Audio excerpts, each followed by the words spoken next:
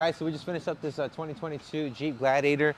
We did some 17 by 9 KMCs in a full black finish. The model on this one is a 17 by 9 544.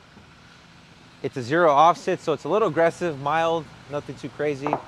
Uh, we ran the 35 inch tires, leveling kit, pretty basic, but nothing too crazy. It's gonna be daily driven. Um, some off-roading, nothing too crazy, but ridge grapplers can't go wrong with it. You can, you know, highway, street, off-road, anything you want, all, any terrain. So it's pretty much daily use, or if you want to go off-roading, it's a perfect tire. And, you know, if you don't want to do too much to it, this is a perfect setup.